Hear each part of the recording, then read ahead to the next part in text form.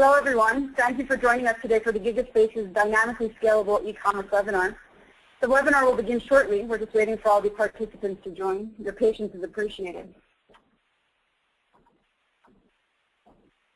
While we wait for additional participants and just to fill the time, a few brief words about GigaSpaces.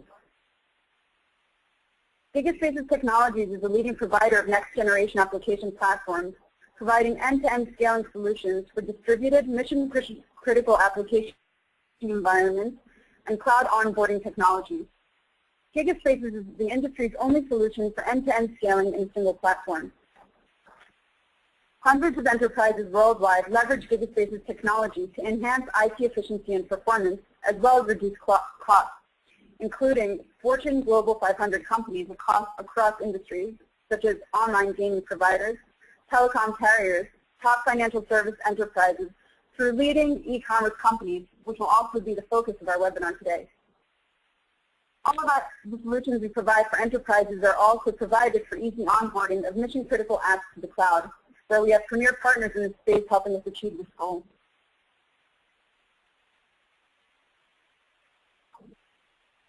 At this time, I'd like to present our host for this webinar, Ron Anderson. Ron Anderson is the Director of Architecture at GigaSpaces. Ron has over 20 years experience designing and implementing mission-critical systems in some of the most demanding environments. Ron's background includes diverse middleware platforms such as Tuxedo, WebLogic, and now the GigaSpaces Extreme Application Platform. Joining Ron will be special guest panelist Jason Abate. Jason is the founder and CEO of Panopta, which provides real-time monitoring of websites and other infrastructure for thousands of companies around the world. Prior to founding Panopta, Jason spent 10 years in the hosting and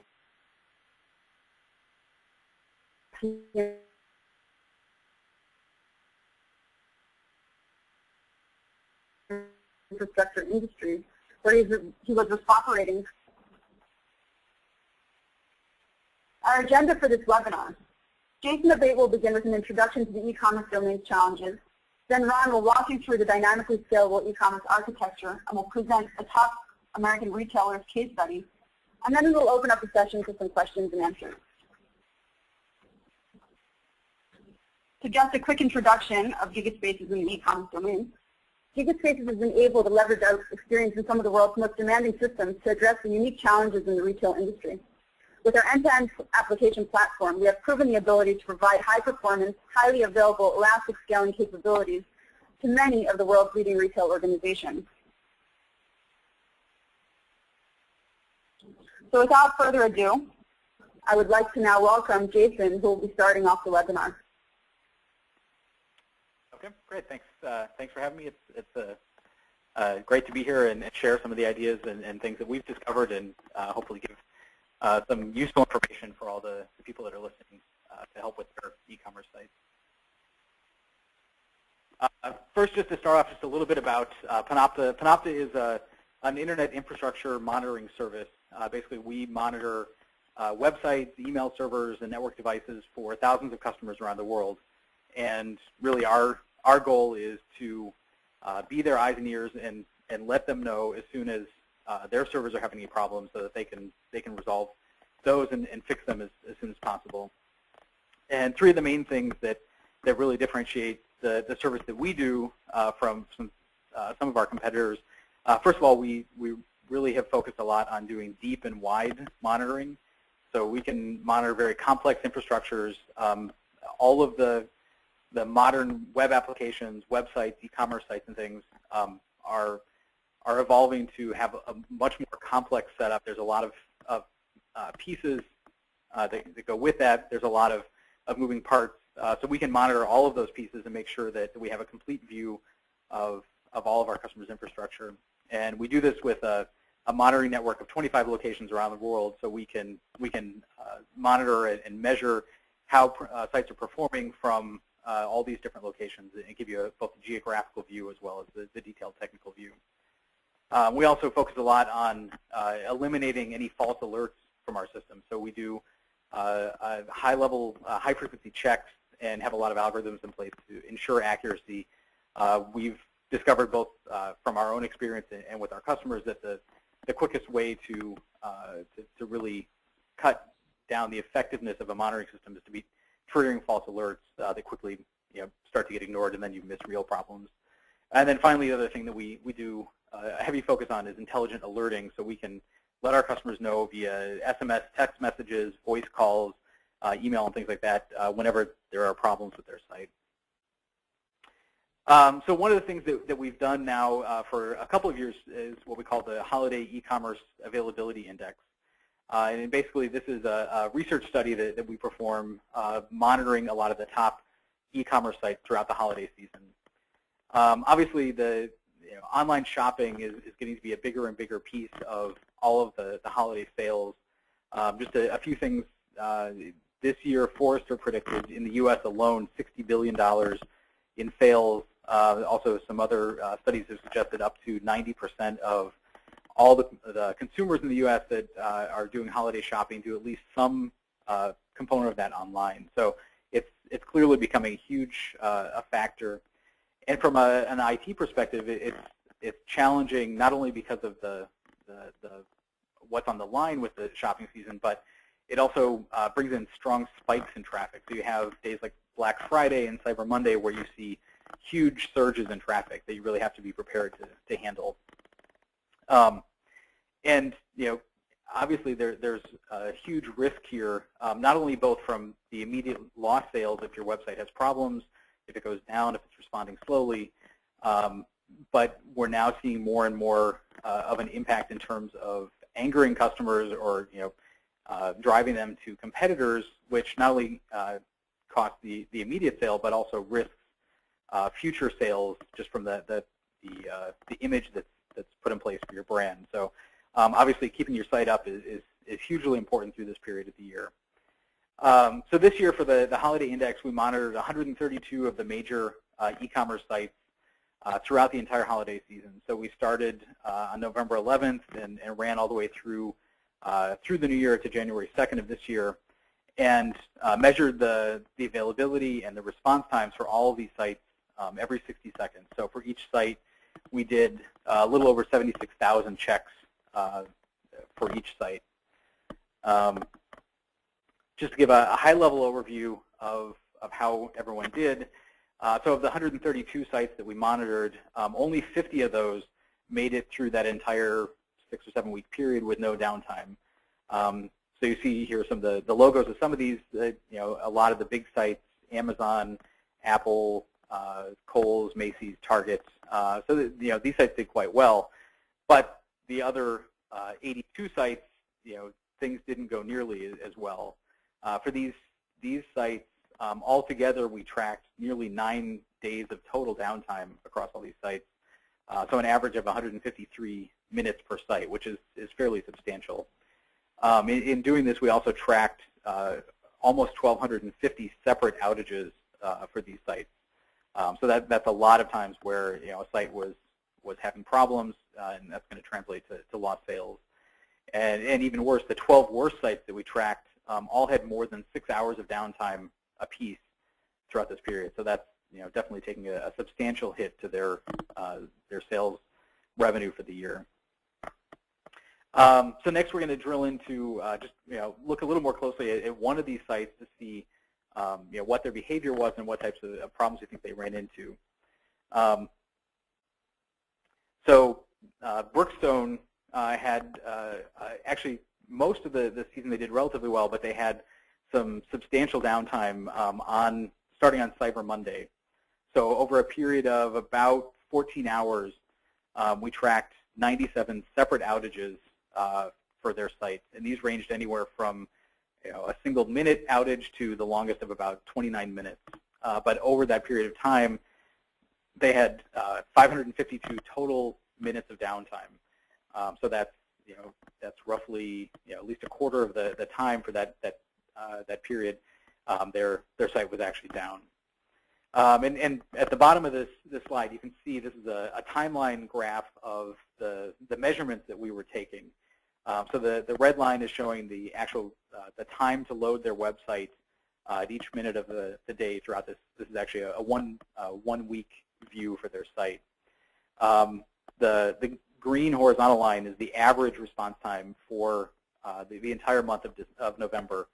And then the, the orange bars are showing all the, the periods where we saw an outage. Uh, so a, a, few things you can see here. Obviously, um, you know, if their site's performing well, there shouldn't be any orange on this, this graph at all. There's, there's a, a fair amount that we're seeing here. And then also during that period of time on the, the 28th and the 29th, um, the, the response times for their website shot you know, way up. They're, they're you know, six or seven times um, higher than the, the normal. Uh, so what we can kind of determine from this, um, both with the response times and the fact that they had a, a, large number of relatively short outages, is their system was probably having trouble just keeping up with the demand that they were seeing. So it wasn't a, a catastrophic uh, failure. Their data center didn't lose power or network connectivity completely. Things were up and running, but just not able to handle the, the volume that, that was coming up. Um, in other cases, you'll see you know, a continuous period of downtime where it, is likely something more catastrophic. But clearly, this is this is not the type of situation you want to see anytime, especially um, during you know, the, the peak holiday shopping time. Um, and then the other aspect that, that we looked at for this one, and, and this is this is actually a relatively new phenomenon, is there's um, both the immediate impact of you know, your site not being available, but now uh, whenever these things happen, it spills over into the whole social media realm. Um, so we, we did a little bit of research looking into um, what people were discussing on Twitter during this, this day-long period, and um, it, it definitely has a, a big impact. Um, you can see just some examples here. I mean, everything from somebody that's, that's you know, taking it relatively humorously, saying, you know, ask Santa for some more servers, down to you know people that are, are, are you know, seriously you know, upset about this that, that may have some long-term repercussions.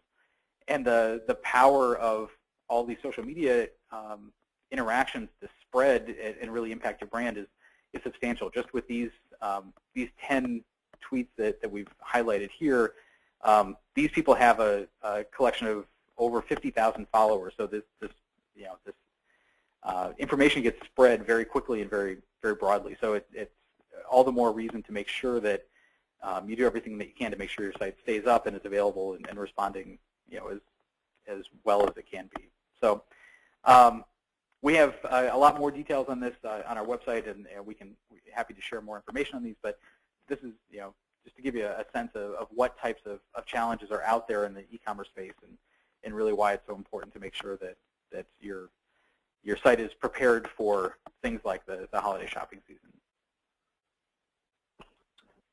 Great. Thank you, Jason. Um, I'd now like to invite uh, Ron uh, to discuss the dynamically scalable e-commerce. Thank you, Jerome. Appreciate it. Make sure I have control.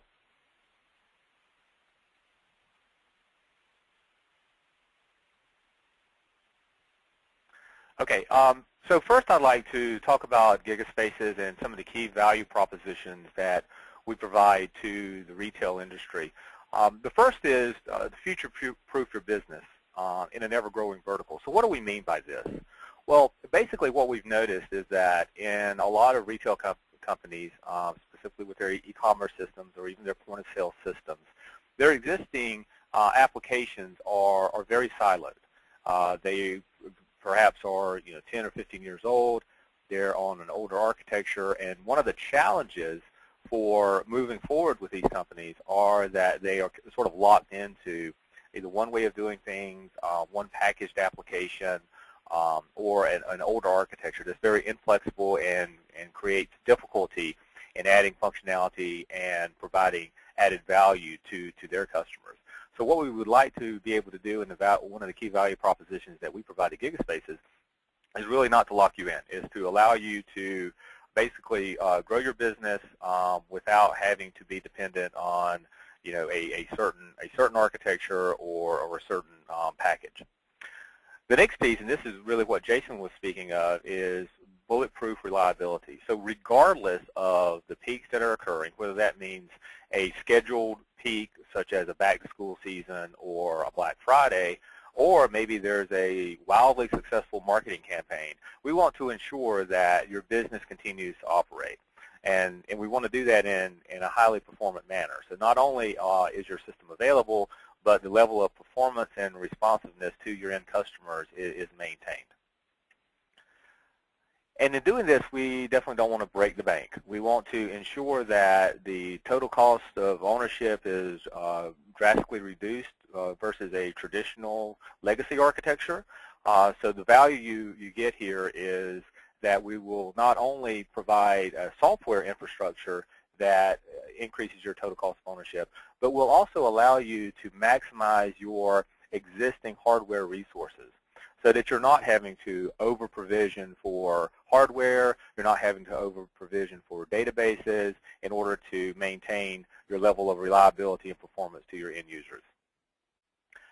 And lastly, and this sort of goes to the future-proof your business, we want to allow for faster time to market. So no longer are yearly releases or even uh, every six-month release is good enough. We would like to be able to offer you the ability to continuously release capabilities and functionality in order to better serve your customers.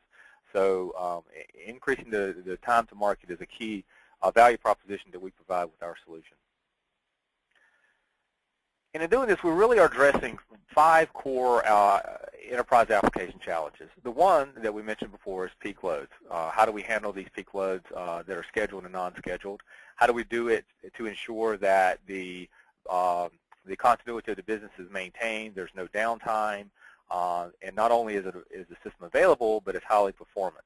So, uh, you know, in the past, maybe five, six, seven seconds was an acceptable response time.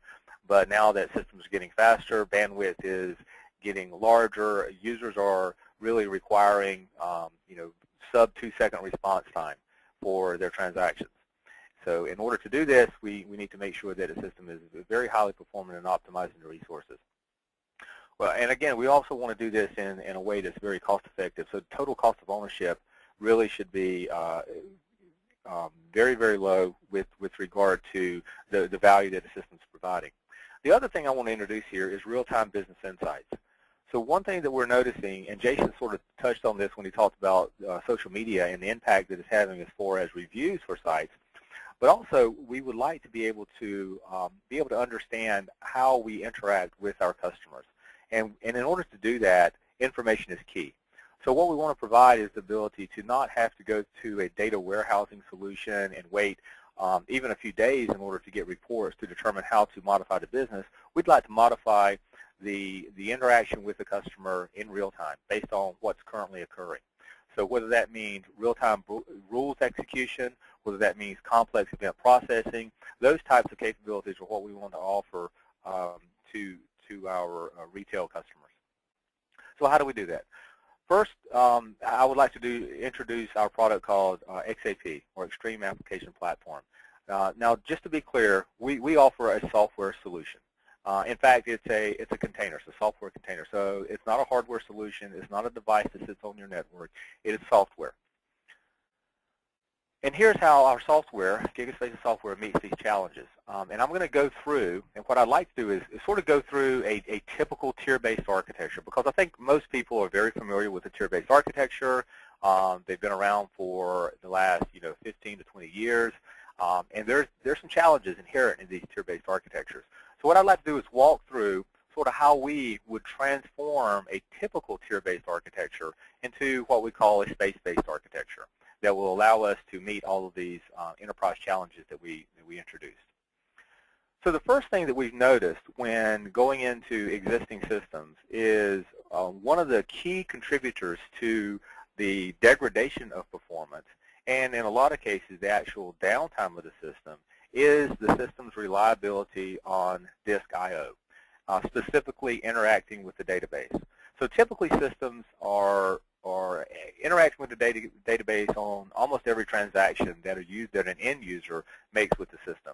So that requires a read from the database, write to the database, up to, update to the database. And what what companies are doing is they're, they're they're spending a lot of money on the hardware that run these databases. They're spending a lot of money on very sophisticated database software technologies in order to keep up with the demand. Well, we have a different approach.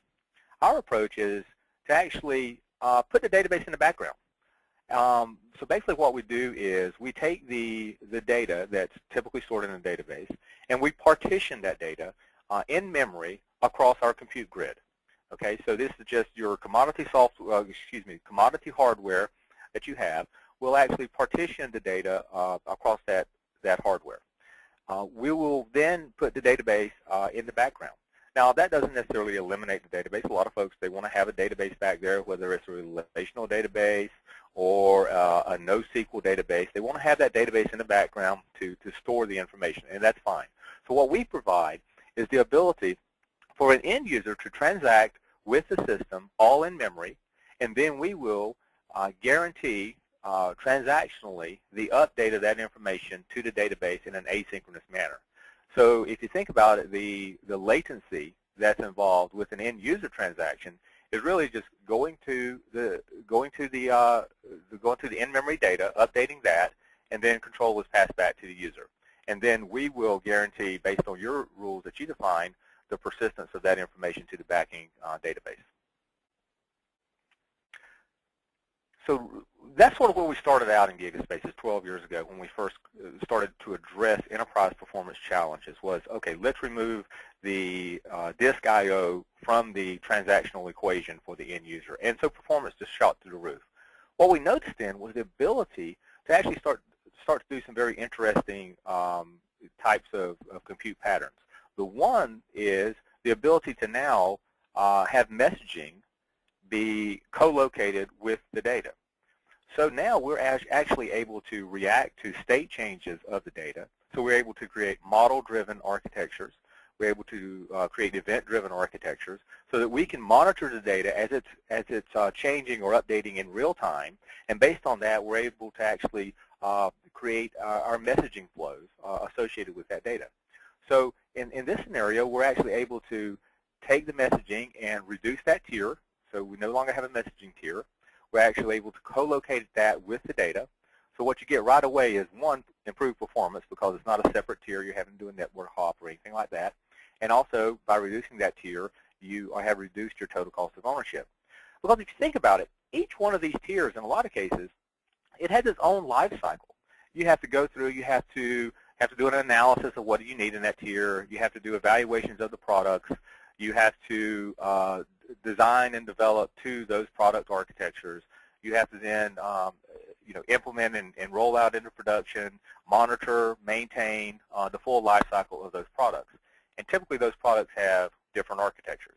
So you're, you're having to really train up different teams in order to understand your web tier, your business logic tier, your messaging tier, and your data tier. Well, since GigaSpaces is all one product with one common architecture, you really just have one one way of doing um, all of these capabilities throughout the life cycle of the GigaSpace, uh, GigaSpaces product. So, so that's one way how you know reducing that uh, total cost of ownership comes into play when we eliminate uh, the messaging tier in this case, and you're going to see the other tiers start collapsing also. So the next piece is we're actually now able to uh, co-locate our business logic, and our business logic can be written in just plain Java, .NET, um, or C++. So we can actually take all three of those languages and run those, host those inside of our application container, co-located with the data.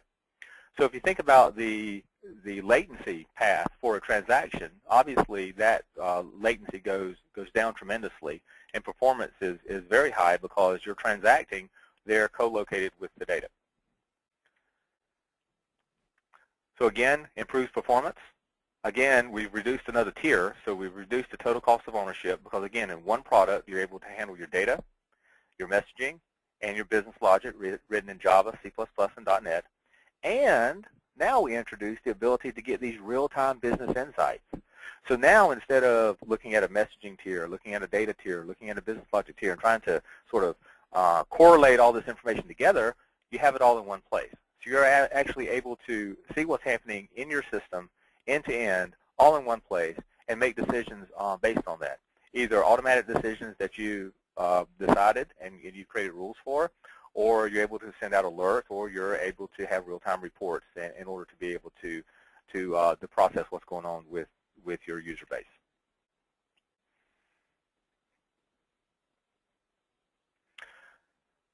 When I was first introduced to this in-memory model, my first concern was obviously uh, availability. What, you know, what happens if the, the machine goes down? What happens to uh, all this stuff in memory? It just goes away, right? Well, we actually have thought about that, and when we created this uh, initial model 12 years ago, we came up with uh, a replication technology that's, that's transactional, it's guaranteed, in order to ensure high availability. So what this means is that now the, the latency path for a user transaction is updating a primary, which is the primary node that has the, the data in memory, and then uh, synchronously and transactionally updating a secondary, okay, which is obviously going to be on another machine. It could be even in another data center. Um, and then control passes to the user. Again, there's no disk I.O. Uh, everything is in memory. You have introduced a network hop to ensure your high availability, but the performance is still very, very high because we, we we're not in contention with any uh, disk I.O. with regard to accessing the database. And so you're able to actually define rules to to say, well, I want to have one one backup or two backups. I want these backups to be on this machine or that machine. And GigaSpaces will actually maintain those rules or, or those service level agreements that will ensure that the the capability and reliability and availability of your system is maintained based on how you want it to be maintained. And this is not actually for the uh, entire system as, as, one. I mean, so you can basically, in a fine-grained manner, you can define different um, availability rules for different components of your system. So there could be some components that are very, very uh, important that you want to have incredibly high availability. There can be zero downtime. You have a certain rule.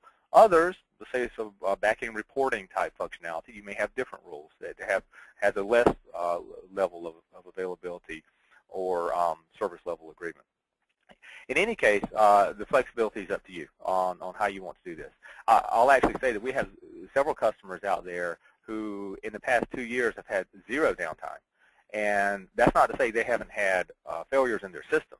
Okay, they they have hardware failures, hard drives go bad, uh, you know, CPUs go out, motherboards die, and all that, and that's fine, and, and that happens.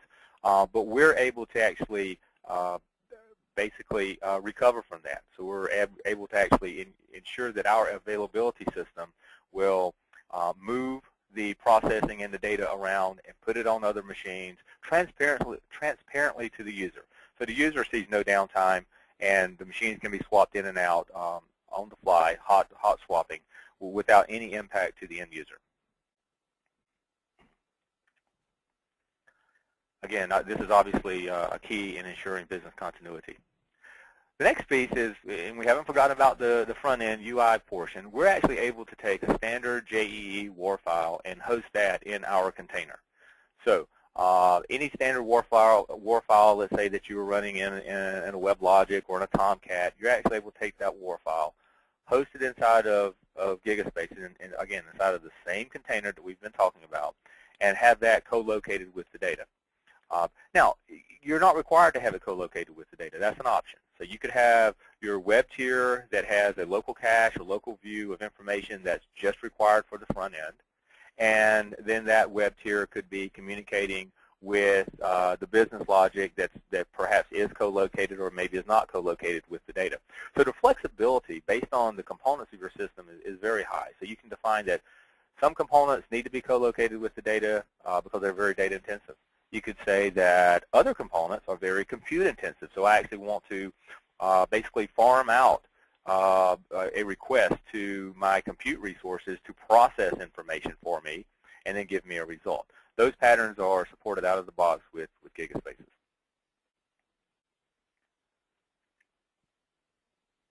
Again, as we see, this uh, obviously improves performance. Uh, continuity is another uh, plus here because you, you, have reduced another tier, so not only is your total cost of ownership uh, reduced, but since you have a since you don't have another tier that you have to maintain, um, the chances of things going wrong are reduced. So there, there are few moving parts in the architecture.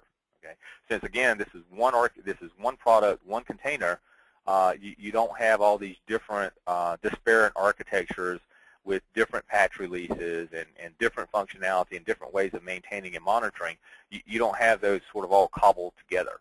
So you're able to actually have this one um, one architecture that's supporting all your, your business logic functionality, your messaging, your data, and your web, um, your, your web functionality all in one container. And I mentioned before the ability to scale on demand. and this slide says auto-scale the entire application on demand, and, and that is true, but it's even more than that. It's the ability to define each individual component of your application or each individual service to define that one service scales one way, another service scales another way, and Gigaspaces is able to actually enforce those scaling rules or those service level agreements to ensure that you're able to provide the level of performance low latency and availability to your end users uh, in a very optimized manner and taking advantage of the underlying uh, resources um, that you have available. And just a, another word on that, um, and I won't get into the SLAs too much in this talk, but I'm more than, more than happy to talk about it uh, offline with anyone who's interested, is you're actually able to define these rules based on uh, really anything you can think of. So in a lot of cases, customers will say, well, once memory gets to a certain level, or once the number of requests come in get to a certain level, or once the number of threads get into a certain level, or a combination of all these, then I am in a, quote, scale event. And if I'm in a scale event, perhaps a marketing campaign was just successful, or, or now we're starting up Cyber Monday, or whatever it may be, then Gigaspaces is going to automatically provision new resources, and it's going to automatically deploy new uh, components or new instances of components onto your resources in order to handle that increased load. And then, and, all, and as important, once that scale event has dissipated, once you're no longer in that situation where you need those resources, we release those so that we're, we play very friendly in a multi-tenant environment. Um, so you don't have to dedicate a huge you know, data center worth of, of hardware uh, for your system. You're actually able to um, have gigaspaces expand out elastically and contract elastically based on rules that you define um, and rules that help you provide the level of customization and service to your uh, end users.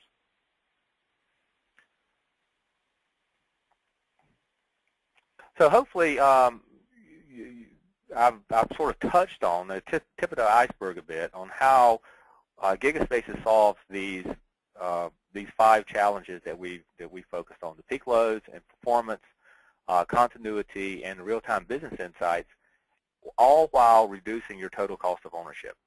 So that's the key: um, not to invest you know, huge amounts of, of money and resources and hardware and time and effort into each one of these tiers, but to really have one application platform that allows you to uh, address all of these uh, end-to-end uh, -end, needs. So, so that's great in concept.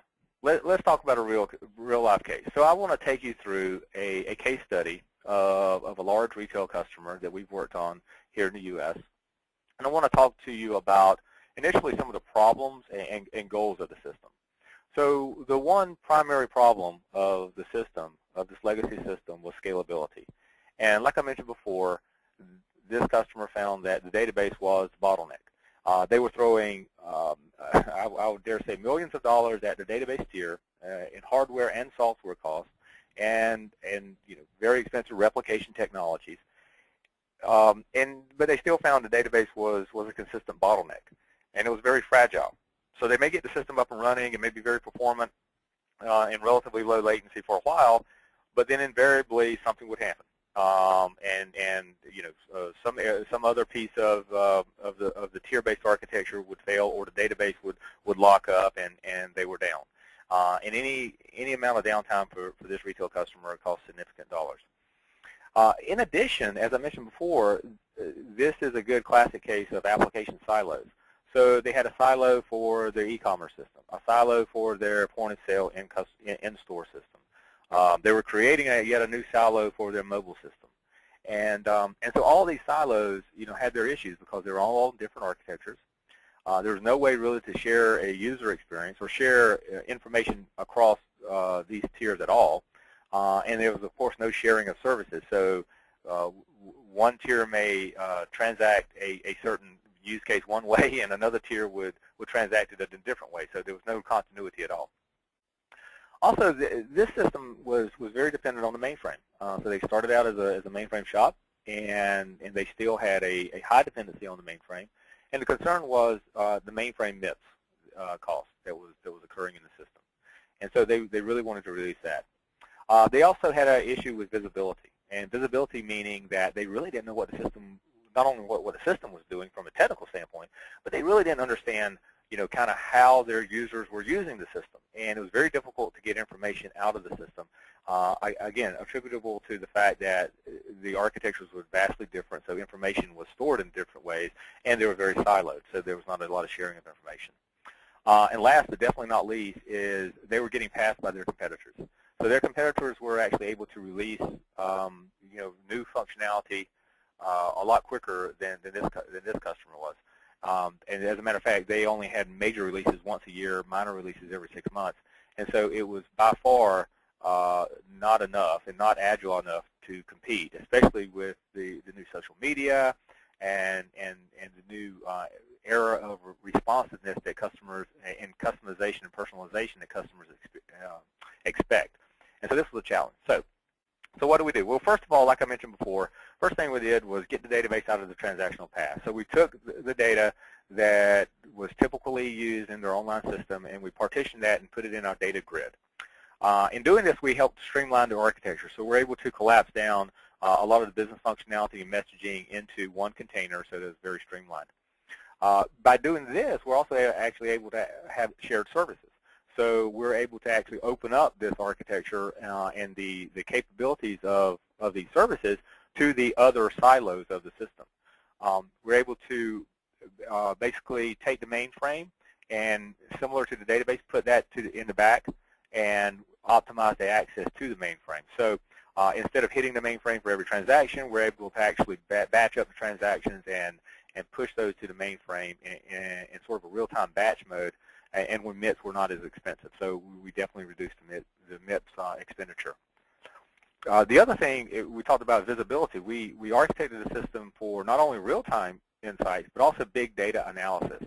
So not only were we able to provide real-time access to what's going on right now in the system, and actually by, by using business rules co-located with the data and complex event processing, so we're able to actually um, correlate events that are occurring in the system in real time, we're able to actually persist that information to a big data store for um, further analysis that would allow this customer or this retail company to provide even more customized marketing campaigns, more customized programs to help uh, help drive their business.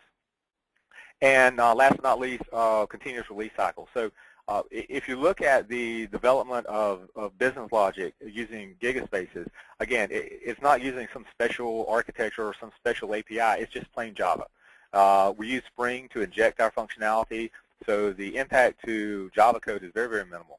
Um, and so the, the users can really focus on their business logic. Since we can dynamically load and reload business logic, you're able to actually do this without bringing the system down, so the system stays up. You're actually able to introduce new functionality.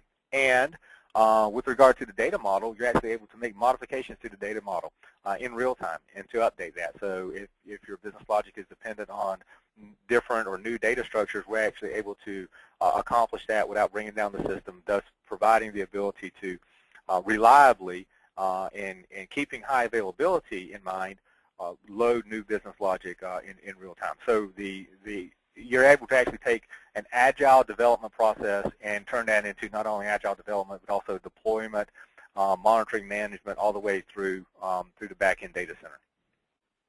Excuse me. Okay, now that all sounds great, and you know, um, and and you know, they were very interested, but there was a lot of concerns. Um, uh, this company has has been in business for uh, you know many years, and again, they were a very siloed environment. So they were very concerned about the expertise to design and implement such a system. It was a really big paradigm shift, right, to take folks from either a mainframe uh, mindset or a packaged app mindset and move them over to you know this architecture. So the way we were able to address that was one, you know, we've been doing this with a number of retail companies and, and quite frankly, a number of, of companies across multiple industries. We've actually cut our teeth on the financial services industry, um, which has very, very demanding requirements. And, and so, you know, we, we were able to bring in our architecture expertise and, and mentor the team in order to uh, come up with a plan to create a transitional architecture that would uh, allow them to not suffer the, the business downtime. That, that was another big concern of them of theirs.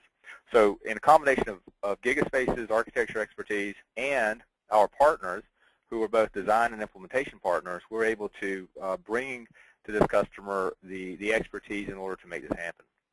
So I mentioned downtime. So you know this cus this customer uh, has has a large large business. Um, it's almost like taking a race car going you know 100 miles per hour down the road and changing the tires without pulling over for a pit stop. And that's what we needed to do.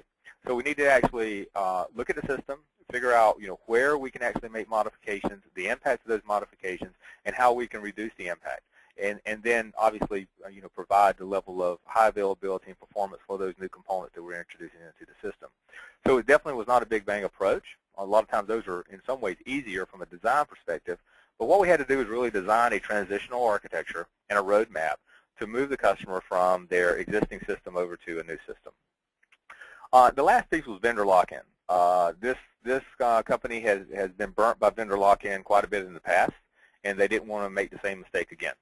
And so what we're able to do is show them that, again, we're just plain Java or C++ or .NET or a combination of all three. Uh, we're not locking you into a standard, uh, excuse me, we're not locking you into some proprietary API or proprietary framework or, or proprietary GUI. Uh, it, it's, it's really very, very open. Um, the, the capability we bring to bear is really in the in the runtime, monitoring, management, deployment uh, area to give you all the abilities that you expect in an enterprise application but your your investment in codifying your intellectual property is in standards-based languages. So, for example, for Java, uh, we provide a JMS and a JPA and a JDBC interface, so that users aren't having to learn some some strange uh, language that they've never heard of before. Uh, and so, the vendor lock-in argument was very quickly, um, I guess, addressed and we're able to, to help them ensure that they can move to uh, another platform if they would like to in the future. Okay, so how did this first look? Well, uh, I'll, I'll, just talk about a few of the silos. There, there are actually many more at, this customer side, but some of the ones we touched uh, initially were, one is the e-commerce packaged application.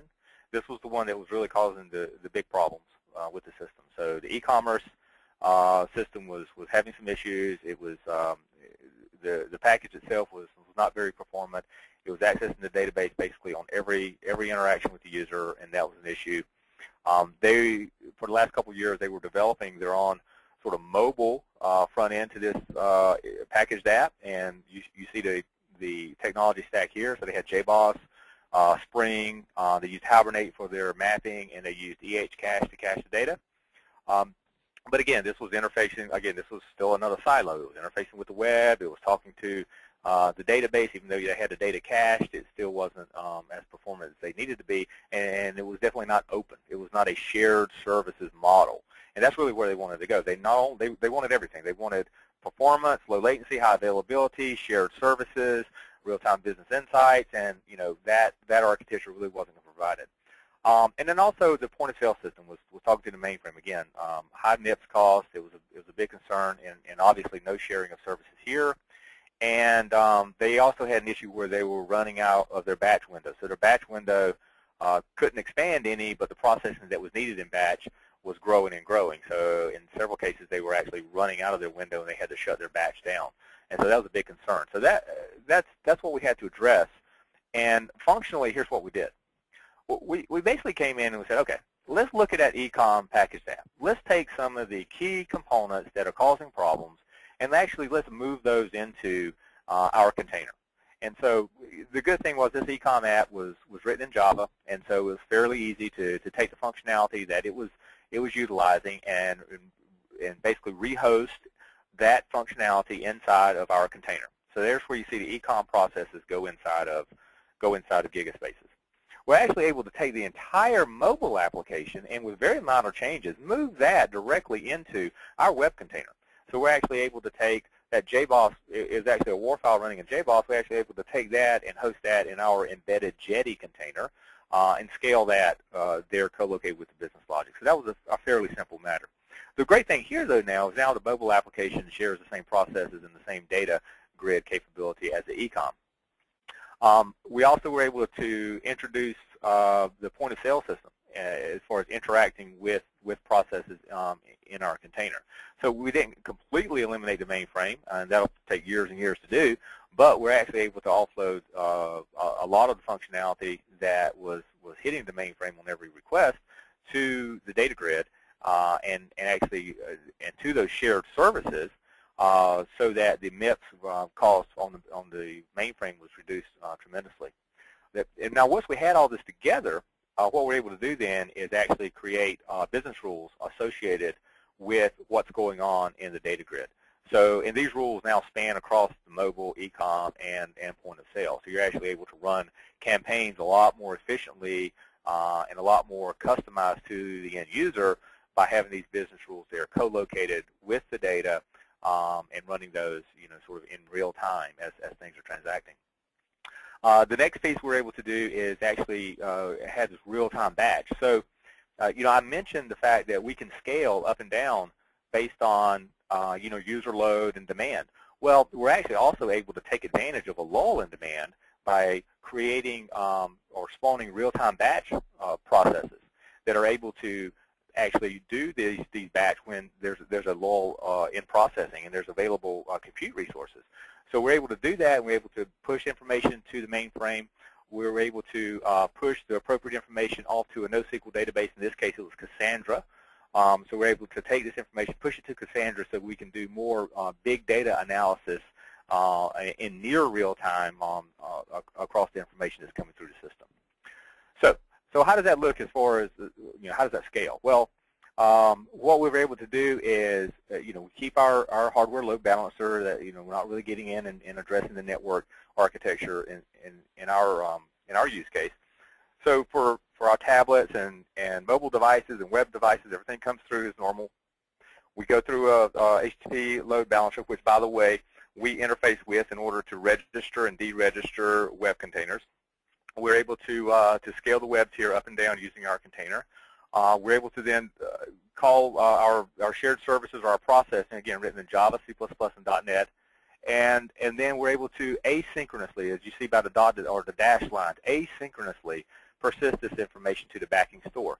Backing store could be the database, could be the mainframe, could be Cassandra, could be any other type of persistence. This is actually an open interface, so you can write anything you'd like um, to, to persist this information to any other type of, um, of, of storage. Uh, and again, this is all run and, and dependent on the rules that you define. So the scalable inelastic uh, memory and processing grid is driven by the rules that you define uh, to, to say how do I want to scale, how do I want to scale these processes up and down. So, uh, so that's the that's what we did for this customer. Uh, again, it's a, it's still a work in progress. Uh, we've we provided some tremendous value. We future-proofed their business, um, so now they can see how they can you know, focus on their intellectual property written in Java, C++, or dot .NET, not having to worry about, you know, am I going to be able to modify in the future? Am I going to get locked in? We've given them the ability to have this bulletproof reliability. Uh, they actually talked to several of our references who have been up for many years um, with our software without any downtime um, as a result of our software, and our software has actually been able to um, deal with the hardware problems and the, and the other like database problems underneath the hood uh, uh, underneath the system uh, without having that manifest itself in front to the end user. Um, and the substantial cost reductions, again, we, we got rid of you know a lot of a lot of tiers here. Um, we're able to add, we're able to not have to uh, devote so much uh, time and effort and resources into the database tier with regard to hardware and software costs and maintenance costs because now it's just a backing storage. It's not part of the transactional path. And uh, by, by being able to do real-time uh, deployments of not only the, the business logic code, but also data changes, uh, time to market is very, very quick. So it's almost a continuous release cycle. I believe they're releasing once every couple of weeks now, but they could really release in a continuous manner, but they have their own internal QA process they need to go through, which is great. And, and so, but, but what they've done is drastically increase their responsiveness, responsiveness to their market uh, the ability to address uh, things happening in real time, the insight to know what's happening in real time, uh, and then the ability to actually uh, act on that, either in an automated, fa automated fashion or at least having the business intelligence to know you know, what they need to do as far as uh, addressing the, the market needs. So that's, uh, that's it from my piece. I believe uh, that's the end of it. Yeah, we have a thank you here. And, okay. But if there are any questions. Great. Thank you very yep, much, go ahead. Ron. Thank you. And thank you, Jason.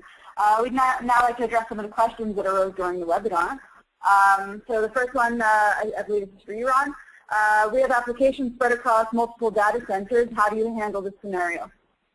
Oh, that's, that, that's a great question. Um, so I mentioned we had this replication technology, and, and that's really in the context when I mentioned it of in a data center or maybe a, a data center with another data center that's fairly closely located. So, um, and, and that's a great scenario. Uh, and we have a lot of customers who are replicating from one data center to another. But then once you get to uh, regionally or geographically um, um, separate data centers, it's a it's a larger challenge. We actually have technology. It's called our WAN replication technology that allows us to uh, reliably and transactionally replicate data around the world. So we have customers who are actually taking uh, data that's in London, replicating that to London, replicating that to Hong Kong uh, in a highly efficient, highly reliable, and transactional way. So that's actually uh, a use case that's definitely in our sweet spot, and it's something that um, that uh, you know we'd love to to talk to um, anyone who's who's more interested in that. Great, thank you. Uh, next question, Jason. I think this one's for you. Um, how did uh, the 2011 holiday season compare with the 2010 uh, as far as site behavior? Uh, the, the, the main thing that we saw, I mean, obviously the, the volumes uh, continue to grow every year, but the, the main thing that we saw by looking at the response times uh, across all the sites that we monitored was that the, the peaks um, for the, the holiday season are spreading out a little bit more. Um, so for 2010, there were very sharp peaks on, uh, you know, on, on Black Friday and Cyber Monday. Um, now we're seeing for this year uh, that there were you know, smaller peaks on actually Thanksgiving Day, uh, some the day before Thanksgiving, and then uh, you know some other points uh, throughout the, the, the season, and then another one uh, I think on the 23rd of December, which is the last day to to really order anything shipped in the U.S. So um, the what it means is that it's you know there's it's not that the the peaks are getting any lower, but that there's more of those and there's more uh, places where people are, are hitting your site, you know, whether it's you know from their their computer or sitting on the couch, you know, watching you know football on Thanksgiving and, and shopping online. So you really have to make sure that you're prepared for all that that season. Uh, great. Um, I guess this is a, a joint uh, question. Um, were any of GigaSpace's clients uh, amongst those that performed well in the last holiday season? Uh, yeah, actually, take this the uh, the the the sample uh, or the case study that, that Ron was talking about is is actually one of the uh, the sites that we've monitored, and, and they've done uh, really well. They for both the 2010 and 2011 um, seasons, they've had no downtime at all. So every every request that we made came back successfully um, and, and, also, in terms of looking at the, the response times, they were in the, the top 10 uh, across all the sites for both years. So uh, the site stayed up. It's, it's responded quickly, and, and you know, from, from everything we've seen, has, has worked great. Yeah, I would add that uh, this this customer was on the was on the the naughty list, if you will, in 2009 prior to us getting involved, and now they're on the nice list in 2010 and 11. Yep. Uh, okay, one last question. Um, does, uh, does GigaSpaces support any cloud platforms, and uh, if so, what type? Oh, that's a great question. Yes, actually on my uh, diagram that I uh, failed to mention uh, is that we are, we do support actually all cloud platforms. So the exact same system, the exact same architecture that, that we talked about here, uh, you can actually take that and transparently move it to not only any cloud environment, but any virtualized environment or any just uh, bare OS environment. So we've abstracted out the interface to the underlying resources and what we call the cloud driver. And that cloud driver can talk to your hypervisor environment to request resources. It can talk to your cloud environment to request resources and, you know, uh, give back resources. Um, and also using our, our agent technology, we're actually able to do the exact same thing on just uh, bare OS without any type of virtualization or any type of you know cloud capability. So the great thing about that is that you can actually run in a hybrid environment. So you could actually run in your local data center in a hypervisor environment or, or maybe private cloud. Um, you could even, based on rules, uh, based on load, you could actually do cloud bursting up to uh, an, over to another private or to a public uh, cloud infrastructure using the exact same implementation, exact same code. So again, this is another no lock-in, future-proofing capability that was, was very, very interesting to this customer and others, uh, not only in retail but in other industries. Great. Thank you very much to both of our panelists and to our attendees. Um, this, the recording of this webinar will be available on the GigaSpaces YouTube TV channel. Um, and uh, you can also uh, surf to www.gigaspaces slash e-commerce to see more information on this topic. Have a, have a good day. Thank you all.